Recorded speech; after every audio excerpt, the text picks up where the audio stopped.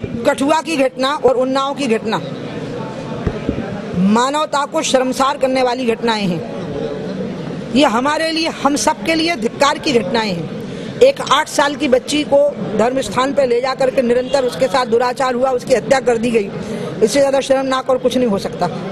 और ऐसा करने वालों के साथ कानून में जो भी व्यवस्थाएँ भारतीय कानून में मौजूद हो, वो सब दंड उनको मिलने चाहिए। इसी प्रकार से जो उन्नाव में घटा है, लड़की की इज़्ज़त गई उसके पिता की जान चली गई।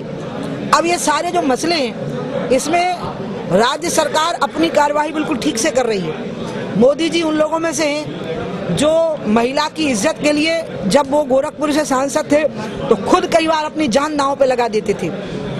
कार्यवाही ठीक से हो रही है राज्य सरकार बिल्कुल ठीक से काम कर रही है। एक भी अपराधी को छोड़ा नहीं जाएगा। और मैंने कल ट्वीट करके बोला है बिल्कुल साफ़।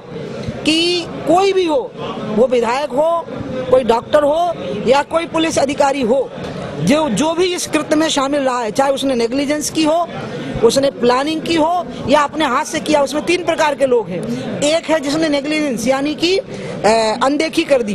दूसरा है जिसने योजना बनाई, और तीसरा है जिसने कृत्य किया। ये तीनों अपराध बराबर के हैं और जघन्यतम अपराध हैं। और इस जघन्यतम अपराध का कठोरतम दंड जो भारतीय कानून में होगा, वो मिल सके।